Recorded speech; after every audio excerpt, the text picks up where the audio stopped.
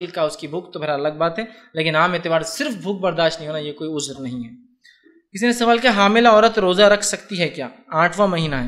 تو دیکھیے، حاملہ عورت اس معاملے میں ڈاکٹر سے کنسلٹ کرے۔ یہ معاملہ ایسا نہیں ہے کہ جو میں شرعی اعتبار سے آپ کو بتا دوں۔